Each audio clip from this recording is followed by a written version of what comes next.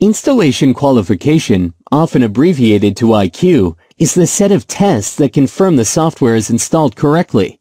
There are many factors that can be considered for a software installation qualification. These include amount of memory available on the processor where the software will run, type of processor, for example, 16 versus 32-bit, on which the software will run, available disk space, support applications, including revisions, operating system patches installed, peripherals installed.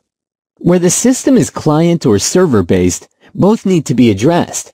The client side is often most difficult due to the difficulty of maintaining configuration on individual clients.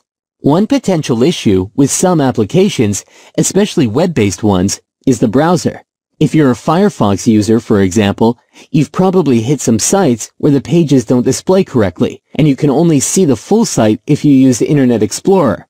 If this is the case with the software being validated, it may be an indication that each client configuration should be confirmed via IQ. Installation qualification may verify stated requirements. Where this is the case, the requirements should be traced to the specific test objectives. Where commercial products or components are used, the requirements for those products or components need to be well understood and, if not documented elsewhere, documented and verified in the IQ. Be especially mindful of client versus server components. Now, what about the cloud and other virtual concepts?